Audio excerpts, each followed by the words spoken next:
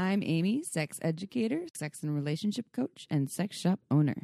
And I'm April, VP of an international high end pleasure products company and Boss Queen sex toy mogul.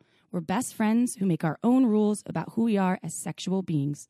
With everything from how to be a badass in the bedroom to top tips for bringing your relationship to the next level, we have something just for you. So sit back, relax, and, And enjoy, enjoy the the show. Forget to head on over to our website at shamelesssex.com for more.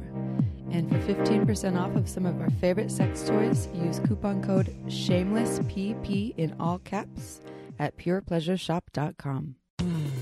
You are listening to a pleasure podcast. For more from our sex podcast collective, visit pleasurepodcasts.com. Well, hello everyone. Hey, everybody. Welcome to the Shameless Sex Podcast episode. I don't even know, but this episode is on senior sex. And I forgot how we define senior sex with this awesome speaker, Joan Price. Did she say? We talk about it on the podcast, so stay tuned. Stay tuned. Yeah, she, yeah. She didn't even say if it was a certain age. She actually had a No, it- broader yeah. way to describe. It wasn't because we talked about my partner and the fact that he he could be considered. It depends how you define senior. Yes, Yeah. and He's- it's like he would if he was listening right now, he loses. I know, which I was like, let's not tell him that he's considered to have senior sex. Not that it's a bad thing. He would just take specific offense to it because and what I will say, I asked him, I'm like, why don't you get an AARP card? Let's get us some discounts. Well, okay, and I will say in this day and age, you know, like 50 is the new 40, right? So I your your partner is 50 years old. And he, he looks and acts like a 30 something, yeah. late 30s. Yeah. Yeah. So no, he's I wouldn't put him in. Don't ever if anyone knows him, teenager don't tell him- sometimes. don't tell him that April put him in that category. No, no, I don't. I mean, remember when I we started this and I was saying I wanted some old diaka? yeah, because I I was sleeping with him and and Dude, and- when we tell people how we met, I was like, well, my best friend was banging him out and basically got a good review. Yeah. and I was like, hey, you want to try this? I'm back in my old relationship and I banged out with this guy twice. And I didn't say banging out, that's April's term, but had sex with him twice. And, uh, and he's pretty awesome. So you should probably try this out. And she's like, sure. And I do like the term banging it out because it's just fun and whimsical and made me feel good when I was in my tear stage because I wasn't like, we made love. Banging I'm like, we banged it out. Whimsical to yeah. I would never it think brings of the up word. some whimsical, whimsical. vibrations deep within me soul. Hey, at least someone feels like it's whimsical. oh, that's good man. shit. Uh, all my, right. my voice is better. Have you have you been paying attention? You notice that I can actually talk and my nose isn't all congested. It's night and day from yesterday. I know I've been packing myself full of vitamins, zinc. I got so nauseous this morning because I ate so many vitamins. I was like, oh, I need to eat something. and I was going to go to the gym and I couldn't because I, but I've been eating just like tons of wellness stuff. antihistamines or something? Because you sound it's like night and day. Uh, no, but I took, um, I just took a bunch of wellness stuff and zinc and then I've been eating Emergen-Cs and, and different things, but I think it, I killed it. you And ever uh, tried- oil of oregano. Have you ever tried giving a blowjob with a stuffy nose? No, I have not. I don't know if I've tried before, but it sounds like you need like a snorkel of some sort. This sounds You know, the the whole thing about having a congested nasal passage is that you can't taste food, you can't taste wine, you can't taste things. might be the time to give a blowjob then. I think if it would be like if I if you had to if you had no choice and you had to lose one of your senses, you uh, a smell for sure. really? Yes. I would not choose hundred smell. I know people Definitely That, not taste. oh my god, I would uh, hundred percent choose smell. I might choose hearing But I wonder if because I, I, want to sometimes just block out things. What? you would choose hearing. I'm not committing to that hundred percent. Do you? Maybe I'd choose. If you lost your hearing, you would have a hard time with speech in general. So your Not necessarily. speaking skills would be challenged. maybe one of my ears. Okay. so you choose smell? Yes, I know people that don't have a sense of smell, and their lives are not that affected by it. Every other sensor, you kind of be fucked. What about touch? I would never get rid of that. Are you serious? I mean, that's my language, my love language. How would you even get rid of touch? You just have no. I'm just trying to think. If someone said you're going to have to lose a sense, you have to think about this. I'm pretty contemplate. sure you get rid of smell or taste. Actually, if I could get rid of that, then I just eat vegetables all the time. And that's it. Oh I man, don't, I don't, even know. like sugar. That's a hard one. I don't even like wine. I definitely like sight. I'm not getting rid of sight or touch or yeah. No, no, no, no, no. Anyway, something to think about for later. I'm going to contemplate that and I'll get back to you. Listeners, everyone who uh, wants to tell April what, what you sense you would give up, everyone email April at just kidding and tell her Five, five, five. that none of you would give up your hearing. I'm pretty sure. Um, anyways, Unless you have screaming kids, maybe you want to. sorry, that's a hard gig. We're teaching everyone a Diamond Adult World Friday, October 25th. Oh my gosh, I think I said 24th in the last podcast. Let's double check this on the air. Yep, 25th. Blew it on the last podcast. it's the 24th. It's on a beach. That's 2019 in Atascadero, California. Go to diamondadultworld.com. It's Orgasm 101. Again, this is Friday, October 25th. And I might need to edit out the other podcast, which bumps me out because that's no fun. But uh, it's not on the air yet.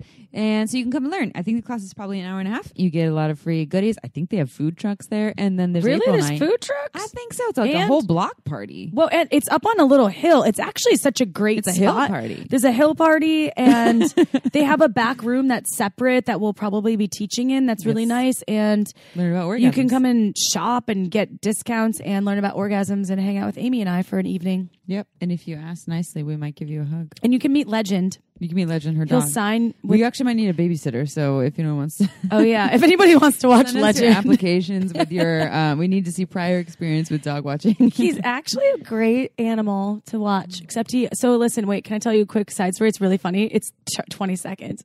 So he has really bad. He had bad um, bowel movements. He ate something weird, so it's been liquidy. And so I gave him activated charcoal, so he's been shitting black.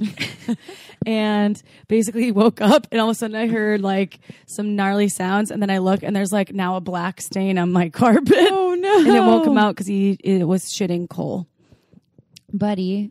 Are you shitting black coal on carpets, on white carpets? And yeah, it was really. It's actually really. He's better now, but His it was. face looks so innocent. It was like, had sad, but really funny because I was like, "Oh my god, poor little guy is just feeling bad, and now he's pooping coal." Mm, That's a bummer. I know. Oh, buddy. Uh, get, he's on my white carpet as we speak. I'm a little concerned. no, no. No. He. It's all out of his system now. I checked. I guess it's off white. He told me to get this like printed off white version. Um, okay, so at the end of this podcast, there is going to be an audio clip. We played an audio clip or two uh, on some past podcasts.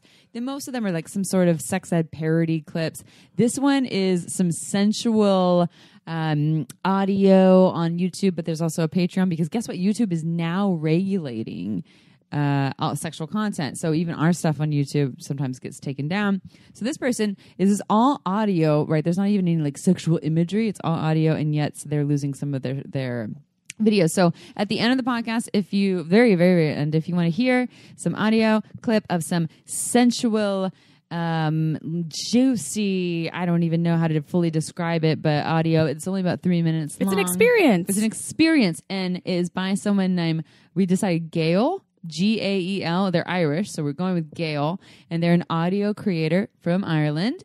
To go listen to more of their clips. Oh, my dad's calling me back because he didn't. he This didn't. is a classic. He stood me up today. oh my gosh! I'll get into daddy issues later. Thanks, Dad. Um, he's losing his memory, so it's okay. Uh, I forgive you. So to learn more, if you want to go listen to it, go to YouTube's their YouTube channel. It's G A E L Force F O R C E audios, and you can learn more. And then they also have the Patreon that you can go and actually listen to more. It's like a G force. G Force, but like a Gail. G A E L Force audios.com. Thank you, Gail, for your submission. Except it's not dot .com. It's not on YouTube. Oh. Mine is a dot .com. So I'm distracted by the dad. Oh, calling I all of a know. There's a lot of distractions today, but I'm actually liking this. This is like our old school way we used to do the podcast where we were like, da da da. Does everyone feel like Tangent. it's back? Like, my, I wonder if my dad is leaving a message right now, like, "Oh no, mouse." He calls me mouse, or or Amster hamster. It's mostly mouse. Really? Yeah, My dad calls me babies. babies. He's like, "Hello, Sounds like babies." No, it's from some that song Chantilly lace and a pretty face and a ponytail just a hanging down, the Big Bopper. And he goes, "Hello, babies." That's where it comes from. Oh my god! Well, I don't know where mouse came. I think I, I kind of look like a rodent or something, or did when I was a kid. I, my friends did call me ratling when I was. Uh, Rattling. yeah, those bitches.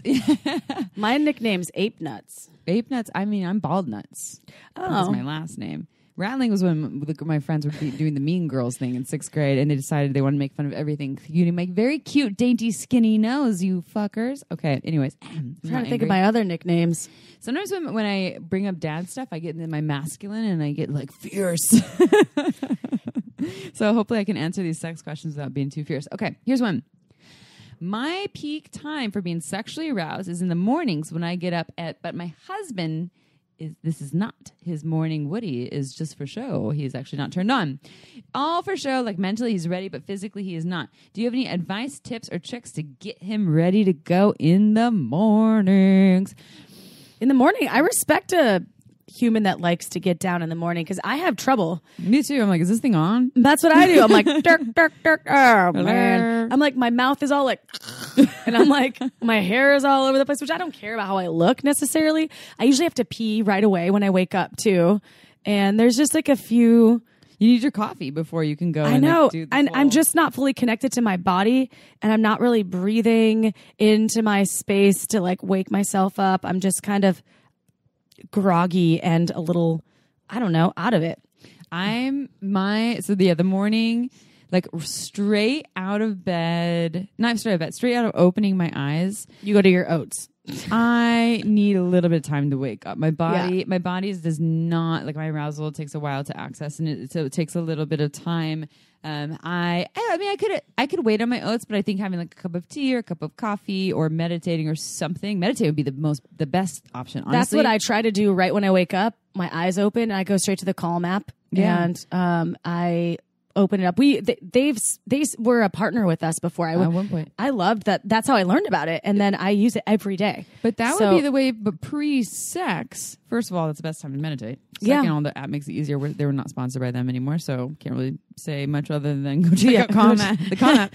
um, but also, the doing a meditation before sex, arousal, etc., gets you in your body and more more present. Dipsea, they could listen to a Dipsea erotica Ooh, episode. yeah, because you just turned one on for me. women. It's designed for women, but I think anyone could listen to that. I think though, I, anyone. you could probably anyone can listen Yeah. to it, but it's just it's more designed for women. I listened to it to one and I was like, that is some because think about shit. everyone's phones typically, and I'm not going to say everyone, but I feel like a lot of folks that I know, including myself, their phones are next to their bed. So if you just open an app, which is why I use the easy app like meditation, but Yeah. an easy erotica app when it's next to your bed to turn that on and kind of get spiced up, yeah. that would help. I, I honestly okay. So try that. here's the thing: so a lot of people have differing ideas about when they're more turned on. Some people are nighttime people. Some people are morning people. Some people are later morning people. Some people are afternoon people, and some people are all over the place. So if you're a morning person and they are a nighttime person, then this is a negotiation. You don't want to only do mornings for that would only be- fit you and so they wouldn't get what they wanted. You don't want to only do nights or afternoons or whatever theirs is because then you would lose. So it's a negotiation and it's a conversation. You ask them. Like you're asking us what can you do to get him in the mood? Well why don't you also ask him? You know okay what do you what when you wake up you know we you don't have to have sex all the time in the morning but because i'm into it I'd like to do that sometimes. What do you need to get in the mood? And then how can we do that? And like April's saying, you know, audio things, we could do erotic meditations. My partner, because he's a total morning person, he'll bring me coffee to bed in the morning, and I think it's so sweet. And then ah. kind of like we'll start kind of snuggling, and I'll drink a little coffee, and then I'm like, "You're so sweet for bringing me coffee." And then if like I'm still not feeling it, I'll kind of use a product or a toy or something. Now, if the rules were reversed and I wanted it in the morning, I'd probably try to do the same, bring him coffee, and then be like, "Hey, like maybe I'll just kiss." Kiss Yeah. your morning wood, yeah. and then see how that feels. And again, if it's if the morning for you is right when you wake up and it's not for this person, then maybe there's just some things that they need before to, like April saying, coffee or something else to happen, and then it can happen. Um, honestly, I have never had absolutely incredible first thing in the morning sex. I've had connected sweet sex, but my most juicy orgasms and like, oh my god, that was mind blowing for me. This is just me. Some bodies wake up ready to go. Yeah. Um. So if he, if your partner, he husband, right? Morning Husband? wood. Yeah, husband. Morning wood. I think they said husband. Yeah, my husband, is yeah. not. If uh, he is not ready to go right away in the morning, then maybe you just find like later morning, like April said, when there's more. Uh, Or bring him coffee or tea if he's into tea or something sweet to be like, hey, Like that's always that's really nice. It's super easy, especially if you're a morning person, to like creep downstairs, go turn on the coffee pot or French press, get it ready, bring it up, and be like wake wake them up sweetly and and be like, hey, Maybe you dress up as a sexy barista. Yeah. Or you could start using your toy, to Starfucks. or you start turning your cell phone, and maybe that'll do the trick. turn it into a porn video. Welcome to Starfuck. yeah. Would you like a orange mocha frappuccino? Okay. Next question. We have two sex questions. We're putting this one on here because we are sponsored by Manscaped and we love Manscaped products. This question is about manscaping. I have a question about manscaping. I've never groomed my pelvic area. This is a penis owner, everyone. But the woman I am dating has asked me to do that. They would like me to trim my bush, which I am more than delighted to, except that I've never done this before. I need some Manscaped coaching. I use a regular hair trimmer and but like the one you use for shaving your head, and it nicked my soft skin down there and drew blood. Ouch! Anyway, how do you guys do this safely? And do you guys use a razor on the scrotum? Oh my gosh! Also, what do you think? Is the best way to trim the pubes for a man totally bald, little square, or short of short hair? Does the hair add to the woman's pleasure, or is bare skin better? I would love to address this because I've had it all down there. I've had lots of hair. I've had uh, trimmed up. I've had Bald. Bald. I've had, and I think a little bit. And this is my own preference. And you're just going to have to communicate and and feel into what you like and try it all. Try to shave it all and see if you like that. Try to just keep a little bit trimmed down. I like the little. I like hair there trimmed down, nicely trimmed. For me, it's also easier for oral because I get less, and I don't like I don't like a lot of hair in my mouth in general, even my own. So I like uh, less hair, and then it, it creates a little bit more smoothness um, during um, sex for me. The lawnmower 2.0 is what you could get from Manscaped though for to help you so you won't nick your balls. You can take a straight edge razor to your balls. You have to just pull the, The skin. skin, yeah. Cuz I I mean I you know when I shave my labia, my it's the same kind of concept. I don't pull it straight, but I definitely like kind of make it taut because then you get like the skin. You can also just start in like d- nicking yourself is scary. So starting with the lawnmower 2.0 from Yeah. Manscaped. Yeah. And then from Which there, an ad is coming up. yeah, and then you can that. make a nicely trimmed um, area. And I would say start with um, leaving some hair there, and then check in with yourself if you like that, and then maybe trim it all down and go bald for a little while, and just play with it. It grows, so it's your own art piece. Yeah, it can always come back. Well, okay, so yeah, I like April said with the lawnmower, lawnmower 2.0. I- I recommend yes using uh, trimmers that are designed for pubic hair, not for faces and for heads and you know other parts of the bodies because they have different angles and shapes and they're designed so that they don't nick your skin in, in such sensitive areas. Um, I personally am a fan of pubic hair. Um, I just I decided in my God, I was like one of the only friends of our friends with pubic hair. Other than you, you you always rocked a little. I don't think you do anymore though. No, I have always rocked pubic you hair. have. You and I, I think we're the My only people. ex partner liked bald, and I was always refusing. He was like, Oh, "Just yeah. shave it all off." I was like, Nope. "Go fuck yourself. I'm not- you shave yours I'm all off." Seven years And old. then he did. Yeah, I was like, I need a little bit. I have no. I'm not shaming anyone that is bald. For me, No. I like a For- little bit of hair. Speaking of personally for, for Yeah. me on my body, I need to have a little bit of hair, and I have gone bald, and every time it feels awkward, and um, and that's just for me. Also, when I have pubic hair and my lovers have pubic hair, my hair can rub on their hair, and then I feel more. It also rubs on my clit or my clit on my, but you know, my pussy on their genitals, on their, and if they're bald, and if they're prickly, then it kind of stabs me a little bit. Or if they're bald, there isn't as much texture. Um, so I'm personally a fan. Now, if someone was rocking a massive pubic hair bush, you know, like literally talking yeah, like over an I've been inch in thickness, yeah. super bush, then I would probably want a light trim because then I would feel kind of like buried in a forest. So, but I wouldn't. I still personally wouldn't prefer. I would. Pre- I prefer some texture there and not completely That was just Gone. hard because you get more smells too. Because it just like the with hair. a ton of fur. Yeah, Yeah, and oh, like, that's what's designed to do is hold the yeah. pheromones. And so the, yeah, so it's it's for me it was too intense, and I was like, okay, uh, that's a lot. 'cause Now that's I'm a so lot of curious about maintenance. whose bush you're talking about. I think I have an idea. Yeah. Definitely wasn't your ex husband. no, definitely not. um yeah so anyways that is our our five cents on um what you can do and like april said it can always grow back Go get the manscaping kit. We're gonna stay tuned for the manscaped ad because that actually is awesome for tool tool Well, wise. your, your partner has it yeah, and it's a little kit. It's beautiful. They the it looks awesome and it's kind of fun to open it. It's it's cool. So they check it They gifted out. us a kit and i didn't have a partner so i said here april give this to your man and now his nuts nuts are not snagged Well, you gave your housemate the uh i don't think he used jack shit Oh, shit. oh no he did he did the but the ball chafing stuff yeah because he's a But bike he rider. might he rides mountain bikes. yeah so he did and So he liked that it. stuff. Yeah. So But there you go. We just split it up because Yeah. I had the partner, Yeah. you had the housemate housemate that mountain bikes. So there you go. Um, okay, so anyways, um, enough of our silly banter as we are on a semi delirious day. I'm, I am, I feel, I am feeling like a little odd today, and We've had be- like three days straight of podcasting. well, and honestly, I will say the minute I open up dad stuff, I get a little weird. Distracted. I get like an edgy, hard shell a little bit that isn't like super soft and warm. And I wasn't even disappointed when I went over there and he forgot that we had this lunch. I was more like, oh, okay, this is kind of nice. I have so much I need to do.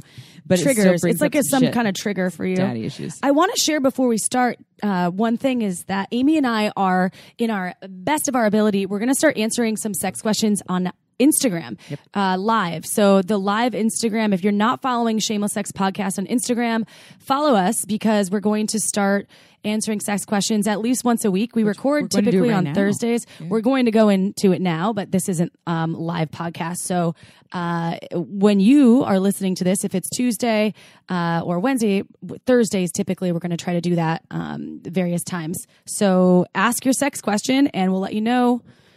Hopefully, we're going to try to answer as many as we can. But We're going to go um, there and at least answer three right yeah. now because we have three written down. And if we have more time, then we'll do more. so follow us on Instagram, tell your friends, and we might answer your sex question. We love you. And bio time.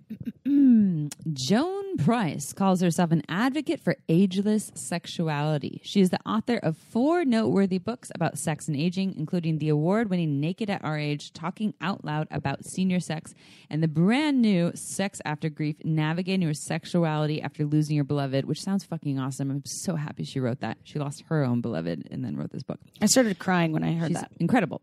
Joan is known by American and global media as the voice of senior sex. Her award winning blog has been offering senior sex news, views, and sex toy reviews since 2005. And at age 75, when she's fucking is in amazing shape, Joan continues to talk out loud about senior sex, partnered or solo.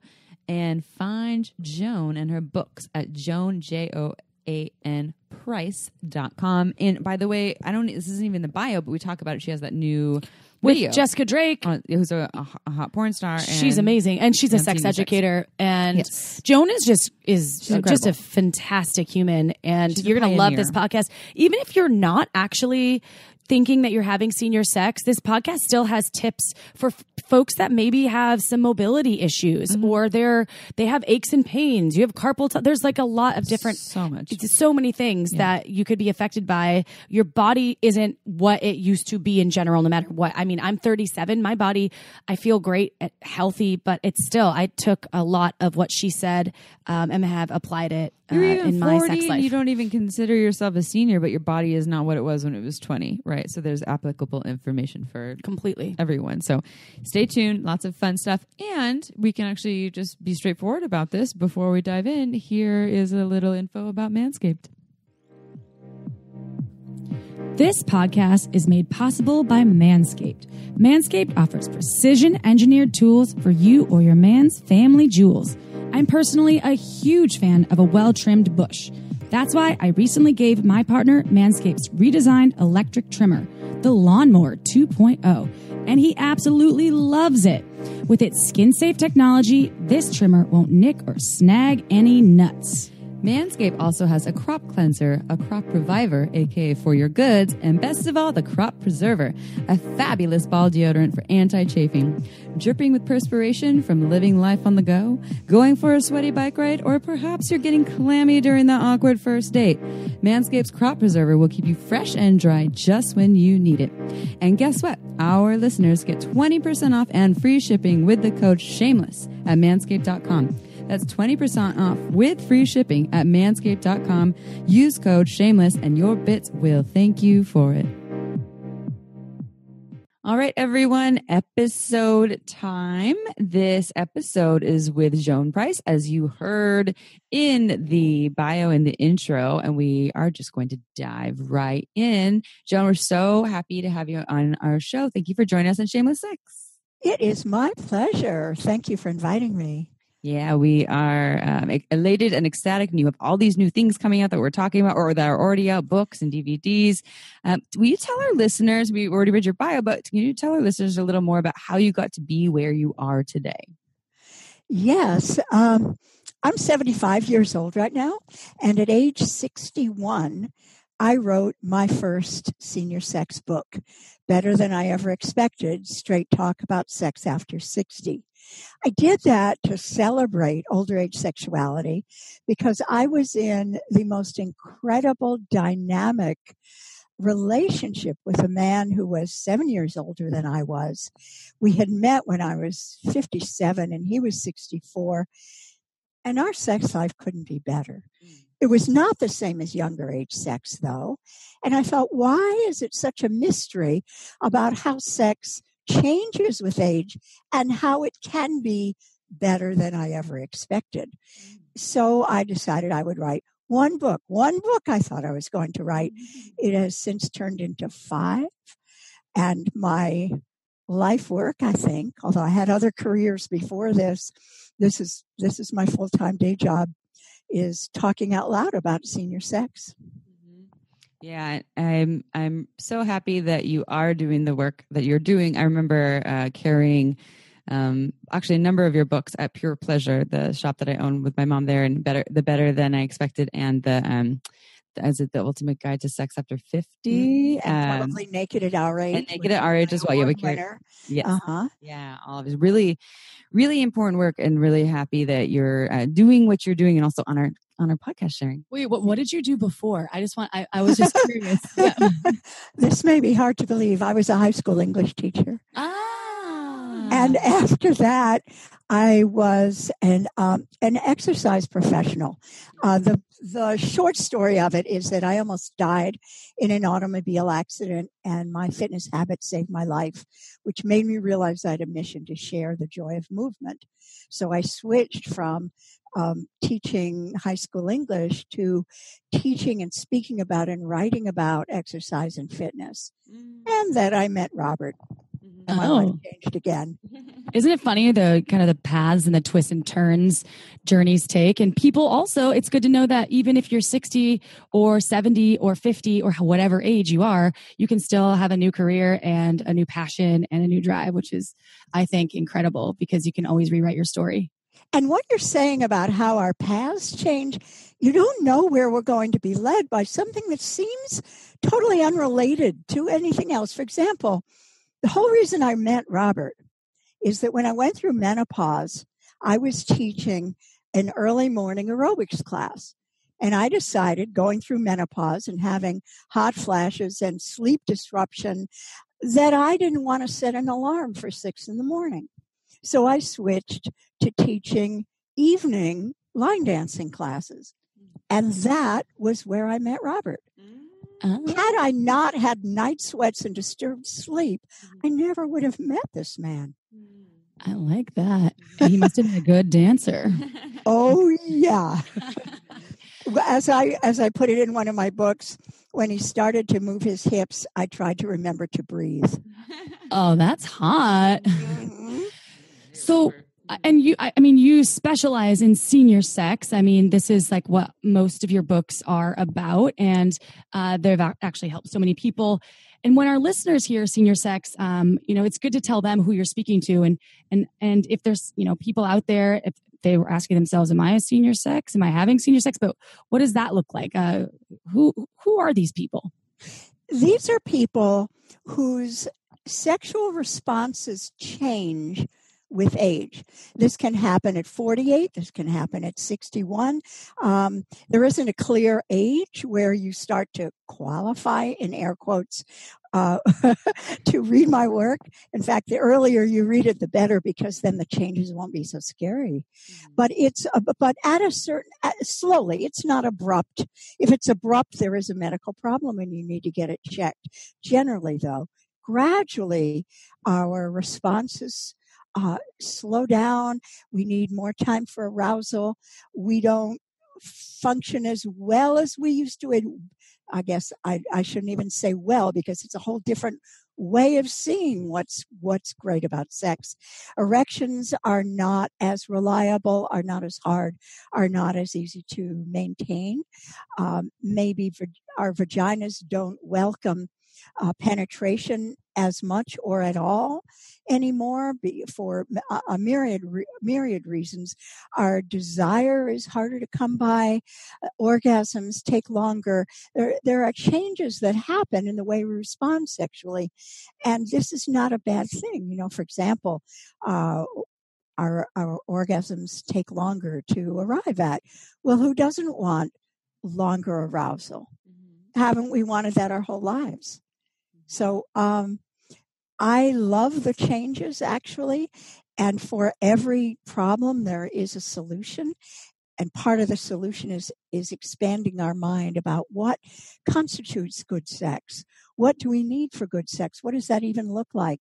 And letting go of our old notions that sex equals dot, dot, dot, whatever we thought it was in our youth, mm-hmm. and seeing it as many different options for sexual pleasure. It sounds like the the key to what you're saying is to uh, to accept and understand that things change, our bodies change over time.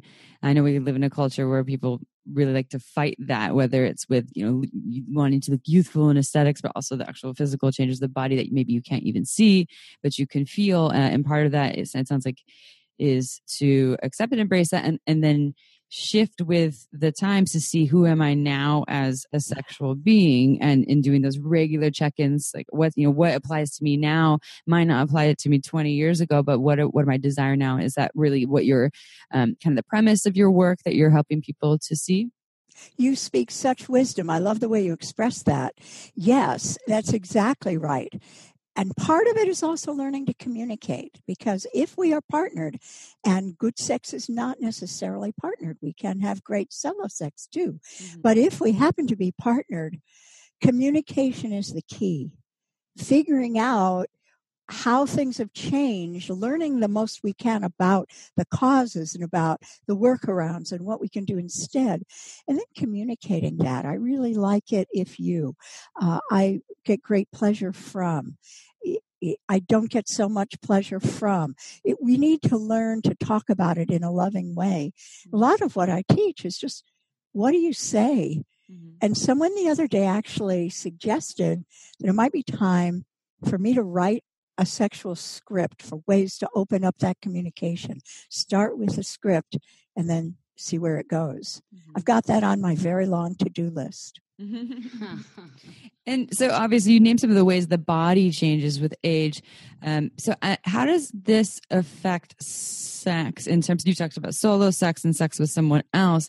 You know how does actual ha- uh, sex change in um, in terms of one's ability to connect with partners? Or i'm sure like you know, there's aspects of like the movements being different and the lubrication. And so can you just tell our listeners some of the ways that sh- sex shifts? Um, we need lubrication we need longer arousal. We may not be even comfortable in the positions that we liked the most when we were younger. That's a real shock to many people. Well, wait a minute. I can't take the weight on my knees. How do I do the position I like best? Eh, um, there are so many different ways. And one of the things we do is we don't give up when something changes. We go, okay, let me learn the most I can about that. Let me read the books. Let me uh, watch the webinars, let me take a class, and then let me talk to my partner about what we can adjust. Another way is we need a lot more ten- sensation, most of us, and that's for any gender. Mm-hmm. Uh, we we need more sensation for arousal. We need more sensation for orgasm. So that will often mean a well placed, well chosen sex toy. And that's often the difference between reaching orgasm and not being able to. Mm-hmm. So we need to also, I mean, this is nothing for people your age, but for people my age who didn't grow up with, with the acceptance of sex toys that you did. We need to unlearn what we were brought up with and relearn how sexual pleasure happens for us now. That's true, and that could be at any age. I mean, really, even even if you're in your 30s. My, I'm 37. I feel like some serious changes are shifting in my body too. So uh, you just have to keep checking in with yourself, and the communication piece is huge. And I think people a lot of times get tired of that, like, oh, communication is always key, but it really is. No one that you're with is going to be a psychic and know what's going on in your body. So yeah. it's important to tell them, and it's it's it's it's easier the more you do it right like the script piece practice i often say mind reading is vastly overrated yeah we've never done it well we don't do it well now and people are operating on what they think works. And if you're, for example, in a long term relationship, your partner will think, well, she always liked this, so I'll just do it longer. When maybe the this isn't even what turns us on anymore. We need to be able to talk about it. Yeah, I, and I love that advice. Um, and moving with some, so you have a lot of, of amazing information in your book, and we wanted to kind of get some quick tips uh, for a few pieces. So a few questions for our listeners. The first of which, and I'm hoping uh, I'm hoping that the answer isn't just going to be Viagra or Cialis, you know, uh, but it could be. I don't know. That's why I want to ask um, if folks aren't getting enough or they're not getting erections as maybe they used to. Uh, what are some tips for that? Have glorious sex without the goal of penetration. Learn how to pleasure each other with hands and mouths and sex toys and laughter and communication. And if the erection happens and you both happen to want penetration at that moment, great. But it doesn't need to be the goal. In fact, it shouldn't be the goal because having it be the goal just increases the anxiety. Will I be able to stay hard long enough? Mm-hmm. Besides, if you're having partner, if you're having partnered sex with a person with a vulva, the statistics say that only 25% of people with vulvas reach orgasm through penetrative sex exclusively. Mm-hmm. So, um, why is that the end all? Mm-hmm. mm-hmm. Let's have glorious arousal and orgasms and intimacy without worrying about whether penetrative sex happens. Mm-hmm. Also, when you're doing that, what it allows you to do is concentrate on the pleasure of one person and then concentrate on the pleasure of the other person instead of thinking we're going to do this one thing and it's going to bring us both to orgasm. Well, maybe it will, but probably it won't. And why is that even a, an issue? Give me the time I need for mine. I'll give you the time you need for yours. It's like having sex twice. Mm-hmm, mm-hmm. I try, so I had this experience that I tried um, with uh, having sex with someone who whose penis wasn't super hard. It was hard. It had some blood flow, but it wasn't like rock hard. And what they did was they actually um, this was like a total life hack to me. They actually, while still having uh, their penis inside of me, that but it was like somewhat soft, they actually inserted a finger on top of it. So this mm-hmm. finger was up and kind of wrapped on my G spot. So it still felt like there was this, you know, hard cock inside of me mm. because the cock was still inside of me, but the, there was a finger doing all the work and it was amazing. And so there's just ways that you're talking, you know, you're talking about getting creative, not making it all about this body part needing to be a certain way. There's so many ways that you can get creative and try different things. Exactly. Creativity. We really prize that and that your brain is your biggest sex organ too so the pressure piece that you were mentioning is it's important to to shed some light on that and let folks know like you, you don't have to have goal oriented sex and it doesn't have to be like am i going to orgasm is my penis going to get hard and then there there are lots of ways i, I love that um, addition amy that's great exactly exactly yeah, it was it was fun. All right, what about? I know. I mean, I was like, "Ooh, this is interesting." I'm going to tell everyone, including I am now on the air. Um, so, okay, another one. What about someone who is going through menopause and they're feeling the shifts in their body? Some tips for them. um, I'll tell you, the only way that I, when I was going through the worst of it, um, I needed ice cubes. ice cubes on my chest. Sometimes even just insert an ice cube in my vagina and I'll feel a lot better. I don't know if this is a tip that would work for other people. And believe it or not, I don't think I've ever given this tip publicly, but it worked for me. And this was from uh from uh, the hot, like hot flashes specifically. Yes. I mean, my whole body, it wasn't just hot flashes. It was that the whole body was unreliable. The whole body was, um, I was teaching aerobics at that time too, and I taught aerobics. This was in the days that we wore leotards. And I would take, the night before, I would freeze a water bottle a filled water bottle so that it would become an ice bottle the next day. I would put this ice bottle down the, down my cleavage in my leotard and I would teach not having to hold on to it because the, the, the leotard was spandex and held it tightly. I would teach my class gradually melting the ice in my water bottle. Mm, smart. You know, we cope there should be more information about how to cope. In fact, I wrote an article about this. Um, it was one of my first articles for publication way back when I was, I don't know, 48 maybe. And I said, we should design a line of hot flash wear made of patches velcroed at the borders. And when the hot flash strikes, we just start pulling off the patches and airing our hot spots and then slap them back on again when we're done. Has this has this come into fruition yet? Has it happened? No, no, and I'm very happy to give to to give away or maybe sell that idea. I am uh, honestly, I am a hot sleeper and I am terrified of menopausal hot flashes when I get older because I already sleep so hot. And I'm like, am I just going to explode when I'm sleeping? Like, because I've heard so many horror stories about just like the hot flashes. And is that for, does everyone, is that a typical sign of menopause? I mean, the hot flashes? Well, it is a typical, but everybody experiences it differently. Okay. There are people who sail through menopause. Okay. They go, oh, my period stopped. Huh, just noticed. Oh. and there are other people who go through great agony. The helpful thing is if you consult your doctor, your medical professional, there are things that can help you. Now, not everyone can go on hormone replacement therapy. It depends on, on your medical background, your medical risks. For those who can, they often find it a godsend. For others, there are alternative ways that, that can help them. I'm I'm so far removed from menopause at this point. It was decades ago, and you know, senior memory. Mm-hmm. I just, I just remember how it felt, but it wasn't anything that limited me. I just said, okay, if I get over hot, overheated when I teach aerobics, it doesn't mean I stop teaching aerobics. It means I, I remember to put the water bottle in the freezer the night before. Mm-hmm. So you'll find ways that help you. And I remember too that that one year, I now, I live in Northern California, so it isn't as if I live in the Midwest. So it doesn't get so cold that people would freeze to death in my house, but it does get cold in the winter.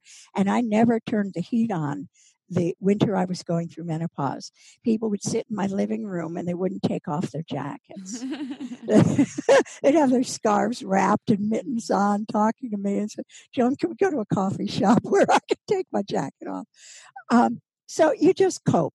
Mm-hmm. But if it is severe, you, you go to your medical professional and get a good one. Get someone who understands what you're going through. Mm-hmm. There are so many different ways of um, of addressing these these challenges, but also know you'll come out the other end and it'll be delightful. And what about um, the elasticity of the vaginal canal and how that that changes in menopause and, and um, folks who want to uh, to work with that shift?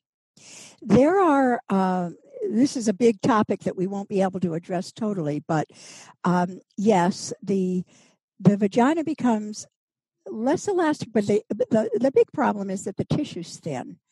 So uh, friction can feel left less comfortable. And we, in using sex toys, we often prefer, uh, if we want penetration with the sex toy, we often will choose a slender one, whereas maybe before we liked one that was a little fuller. We, um, we welcome the more the slenderer penises. In fact, sorry, uh, big guys, but you're going to have to work with us on that. We um, now estrogen replacement will help that and and there are lots of different ways you can get that estrogen and again a medical professional is what you need to talk to about that. The other thing though is the more you have sex the more receptive your vagina is going to be to sex. Mm-hmm. so don't say well because this is, doesn't feel the same as it did before i will uh, not have sex until i don't know for another 10 years also when our relationships change and maybe uh, let me backtrack a little i hear from people who say i'm not in a relationship now either i lost my spouse uh, to, to death or divorce or i was dumped or i did the dumping and i'm single now and i'm not dating and so there's no reason to think about sex till I'm sexually active again if it ever happens. No, we need to keep ourselves sexually healthy, mm. or by the time we want to be sexually active again, whenever that might be, whether it's in a week or or or eight years, we will find it much more problematic and mm. uncomfortable, maybe painful. So it is up to us to keep ourselves sexually healthy by having regular sex, whether with ourselves or a partner, and with ourselves is just fine. Having regular orgasms, learning to use lubricant. If we have a problem that is interfering with our sexual function or pleasure, we need to consult a medical professional. And one of the things I do in all of my workshops is I teach people the medical mantra for teaching, for talking to your doctor about sex at our age.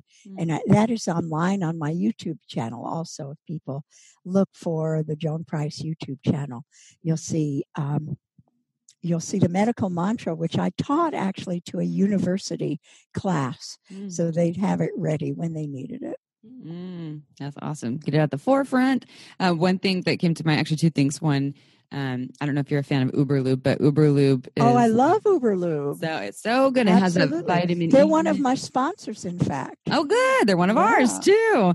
And we they have, I think, I forgot the U.S. alone. I think it's over 500 or 1,000 doctors on board recommending it specifically for folks who are Yeah. going through menopause because it has a little vitamin E in it. So, um, drugstore lubricant if folks are listening out there it's it's not what you should be using and we don't like to should. However there's a lot of chemicals that can affect your your ph balance of your vagina. It can it can dry yeah it can even create more dryness which is the Yeah. opposite of why you're using lube. So if you are one of those folks out there listening right now and you buy drugstore lubricant just consider something else I, and I'll do the should if you can't. You should not use drugstore lubricant. Buy your lubricant from one of the sex toy retailers that is health based, education based, not just sales based. Yeah. Yeah. Yeah. Yeah. It makes a big difference. And the other thing I was thinking about in terms of um that you say well you were ki- you were saying I don't it's a little bit like if you don't use it you're going to lose it. but it, 40 year old yeah. yeah but it's not and not entirely true. It's, you're saying it's just going to be challenging. Say you were like, oh, I'm just not sexually active, but I'll do it. I'll have sex when I'm there. And then 10 years later, when you finally do, you're like, whoa, this is an uphill battle. There's a lot that's different. And it's not, my understanding is that it's not like, oh, you're just stuck that way. There's so much that you can still do. And I think we, I want, I'd like you to maybe you to confirm this theory. I think we live in a society that says once you go through menopause, you dry up and that's it. And that still is just a bit of the general consensus. Are you finding that, so say a vagina owning human um, continues to stay sexually active with themselves or another person? They don't have this break away from that and they continue to the practices that they can still stay, maybe elasticity will change, but the juiciness is still available?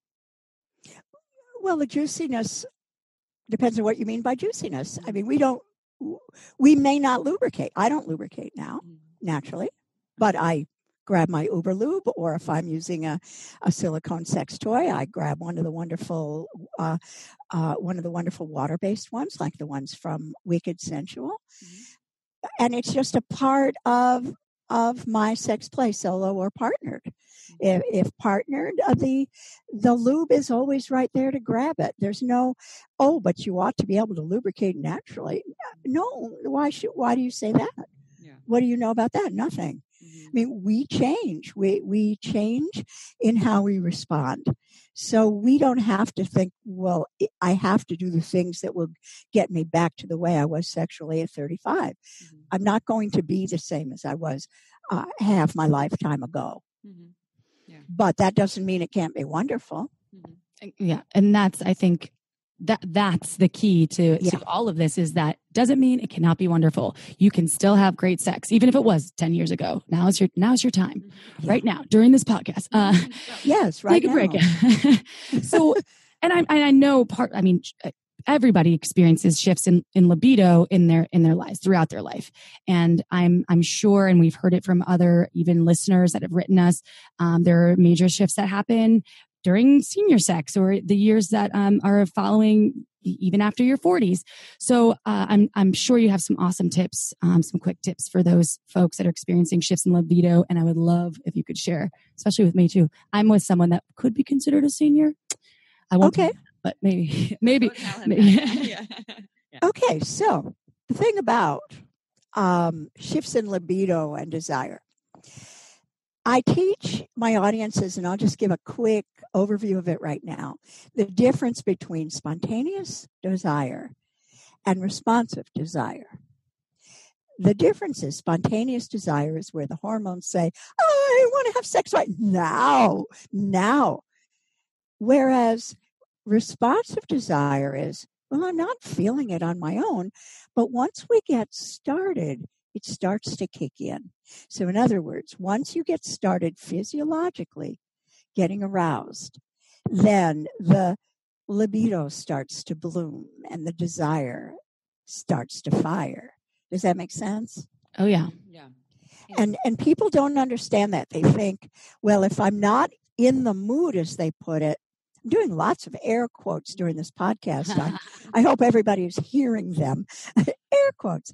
Uh, if uh, often senior people, particularly senior vulva owners, will say, Well, if I'm not in the mood, I won't have sex. I'll wait till I'm in the mood. Months go by. Mm-hmm. So here's the thing if when you get started, you enjoy it, then just get started mm-hmm. and the mood will kick in. And the more often you do respond sexually, the more easily you will respond sexually over time. So it's really the best sex training you can give your body is to keep giving yourself arousal and orgasm. This is where sex toys really do help too. Oh, it kind of yeah. helps um, get the the whole. Uh, sorry, someone's knocking. We're gonna have to pause for a second. We're at a hotel. We'll we'll edit this part.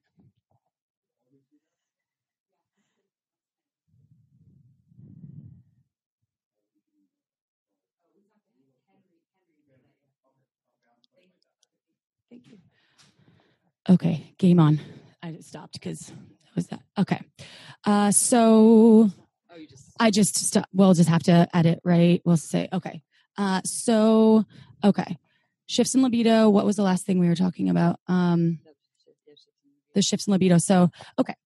So one of an, uh, another we get asked a lot of questions. This is where some of these questions are stemming from, and and um, folks experience shifts in mobility too uh, for senior sex, and uh, there there obviously, as you were mentioning, maybe a position that you loved uh, hurts your knees now. So uh, the question is, what can what can folks do to exper- what can folks do that are experiencing these shifts in mobility? I'd like to suggest first doing these things before you have mobility issues, but I will talk to your question, and that is to not get hooked on one position, one way, one method of enjoying sex, but to keep expanding that so you have options to choose from. And then when if one position doesn't work so well, you, you know what you can rely on. If, however, you didn't prepare this in advance and you have shifts in mobility, as you put it, and a, a position that was your go to position for having sex or for orgasm is no longer comfortable or possible for you, then relax the expectation that that's the only way that you can enjoy sex and go on a journey of exploration, as I call it, to find out what will work for you now. Try other positions, try other methods, try, bring sex toys into it, even if it is partnered sex. Bring whatever you need to be comfortable. There are wonderful uh, sex um, cushions and furniture and all sorts of things that you can buy or that you can um, you can rig that will make sex more comfortable for you. If, however, you say there's only one position that I can reach orgasm in, and that's it. If I can't get in that position, I'll never have another orgasm. Well, I'm not sure that's true, but if you believe it to be true, do other things first to where you are so aroused that you're right on the brink. And then for the last moments, get into that position that you can't stay in for very long until that happens. Mm-hmm. Yeah, that I, I like that. I think I've given that advice to people. I think the same thing with, um, you know, ejaculatory control, and mm-hmm. you know, because it's all about the the the penetration. Like, we'll do a whole bunch of other things that feel good, and then save the penetration for just this other small moment, as opposed to put making it the, the main act. Is just it's it's again getting creative and thinking outside yeah. of the box. And in your in your your example, bring your mm-hmm. partner to orgasm before yeah penetration. Yeah, and, and you then, yeah, some of those the furniture things you're talking about. They the um there's like the liberator pillows that mm-hmm. they have, the wedge and the ramp. Yes, um, absolutely. Those, those, are really good for raising the pelvic floor. They have all those at Pure Pleasure. If you all go to purepleasureshop.com, you get 15% off with coupon code Shameless Sex. Um, will you tell our listeners about your new DVD, The Guide to Wicked Sex, Senior Sex? It was with Jessica Drake, correct? It was. It is, and I'm so excited about it. It just released. The premiere, which was at Woodhull, was just a few days ago. Where we premiered the Jessica and I were both there along with two of the sexy seniors who were in the film. And we premiered it at Woodhull to, I don't know uh, how many people were in the room, but it was a packed ballroom. And they were so, they responded with such warmth and acceptance and, and, and excitement mm. to the idea that here we have for the first time, this is an instructional video about how to have better sex as a senior. I am, I wrote the narration and I'm on camera, fully clothed, giving my narration. And the explicit scenes feature two senior couples one of whom have been together a long time. They've known each other for half a century. They haven't been together all that time. They were lovers and then they drifted apart and then they found each other again. Hmm. And they tell their story and now they're together and they are so tender and passionate. The other couple did not meet until the day of the film shoot. Wow. And that was intentional because part of being a senior and having sex is ways to enjoy sex with a long term partner, but also how do you negotiate, experience, explore when you're with a brand new person. So mm. we wanted that to happen. So we solicited two people that were willing to do that. And you show the negotiation, the conversations. Absolutely, there's a lot of conversation in in with both couples. Mm. I mean, with the long term couple, it's sometimes I, I can't stay in this position any longer, or I love it when you pull my hair, but it needs to be more gently because it's hurting me today. Mm-hmm. I this I think it's so important that that's so. It sounds like this is an instructional DVD, but also kind of like a hot porn in one. It uh, is well. I would not call it hot porn. I would call it hot explicit scenes. Hot explicit scenes. The, I, my differ, the way I would differentiate it is that porn, as Marla said it is, as it is, is fantasy sex. Mm-hmm. It's not how you should be having sex. Mm-hmm. But this this film is how people, real people in their real lives, do have sex. Can you also download the film? Do you know if that, that's you will be able to. It okay. will be available video on demand. It isn't yet at the time we're recording this, mm-hmm. which is in August 2019. It is only available on DVD, and you can get it from my website joanprice.com, or the website will tell you how to order it. It will actually connect you to emailing me about that. it will be available more widely as it rolls out in other countries, and it will be available available maybe September or so. Uh, so by the time the show airs, it will probably be available uh, uh, as video on demand VOD. And you also wrote a book, which I think is so important, and it's called Sex After Grief Navigating Your Sexuality After Losing Your Beloved. Can you tell us a little bit more about that? This is my newest book, my baby book. It just birthed um, a few days ago. And it is uh, I tell you, I told you about starting to write about senior sex because of my love affair with with my great love, Robert. Well, I lost Robert to cancer seven years after our first kiss. Exactly seven years. And it was in 2008. And I have just lately been able to write the book that I wish I had been able to read when I was going through my grief journey and trying to figure out how I could be a sexual being again when the person I wanted to have sex with was dead. Mm-hmm. So this book, and I'm so proud of it. So I mean, it makes me cry even just to think that, yes, I wrote this book and now it's available for people.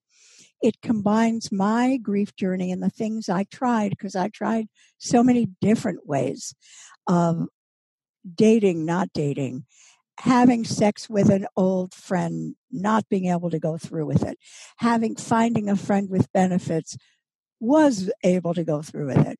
Dating again, um, finally meeting someone on OkCupid that that became a real connection, mm-hmm. an intimate connection for me. But this took years. This took years, and it took many mistakes, and it took all sorts of uh, fear and guilt and confusion. And so I wanted to help people not have to go through what I went through in order to learn the same things I learned. Mm-hmm. In addition, uh, several dozen grievers who are subscribers to my newsletter sent me their stories. And I include excerpts from their experiences, some advice from experts. So it is, it's a small book. It's a book you can keep in a big, in, in your pocket or in your purse to read when you want to but it has lots of information. It encourages you at the end of every chapter to create your own action plan for putting the advice into action. And I'm so proud of it and so eager to share it with you. Well, Again, joanprice.com is where you'll find it. I think that is such an important piece of uh, everybody uh, at some point is going to lose someone in their life. And that's, that's right. there aren't a lot of resources for folks out there, especially dealing with sex and after. Can I say there are none? Yeah. Well, there you go. For them. So there you go. And so that's so important. So thank you for thank that you offering. For doing that. That's yeah. Thank you. I'm sure that was really uh, a journey for you as well. So you're giving back, Joan, and you're giving back so amazingly to everyone out there. Can you please tell our listeners where they can find you and if you have any um, social media that they can follow you at as well? That would be great. Absolutely. JoanPrice.com is where you'll be connected to everything. There are links there to my Twitter, my Facebook, my books, my webinars, um, and anything everything we've talked about today, tips, my newsletter. So joanprice.com, just play around in there. And um, I look forward to having you join me in my community. Oh, thank you so much for all the work that you're doing. We're so excited about your new DVD. I can't wait to watch it. Jessica Drake's such an awesome powerhouse human too. So uh, check that out. It's available now. And if you haven't done so already, y'all, check out Margins Wine. Amy and I have been huge fans now for two years running. And it's not because it's just amazing. It's small boutique wine. It's made in small batches. It's very low in sulfites. I never get a hangover. I, I haven't had one and uh, in a long time. So if you haven't done so, go to marginswine.com, check that out. Last but not least, we would just want to thank Joan again for taking the time to share her work with us and all of you. Thanks, Joan. My pleasure. To our listeners out there, if you haven't done so, give us five stars on iTunes. It helps more people become part of the shameless sex revolution. We love you all. See you next Tuesday. Ciao for now.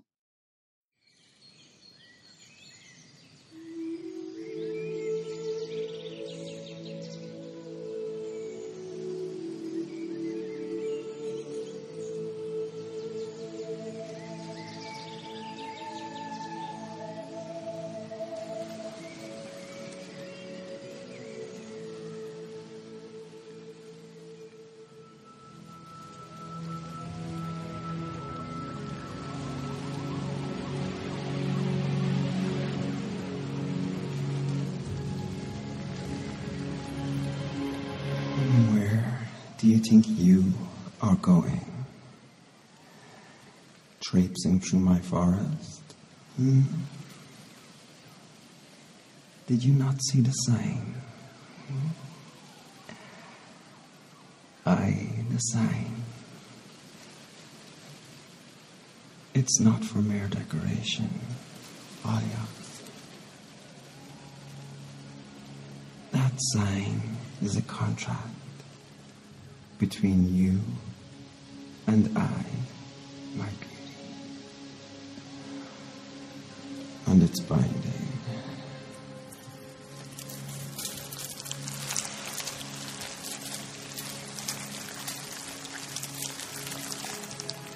By stepping into my forest, you have entered into an agreement. Entering my home, agreeing to the toe,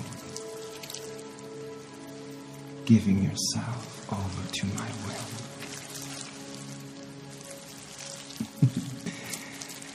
there is no use in struggling against your bindings, Alia. You have chosen to come here. And here you shall remain until you satisfy my fee.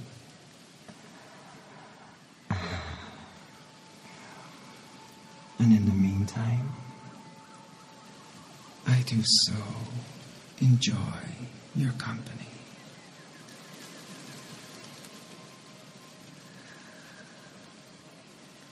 There are a great many reasons why a traveler might enter my realm.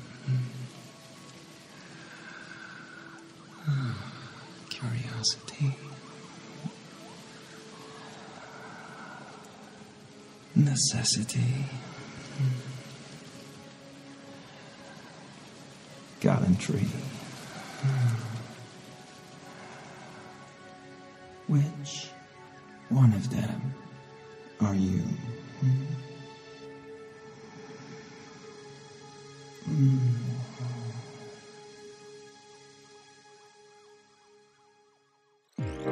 forget to head on over to our website at shamelesssex.com for more.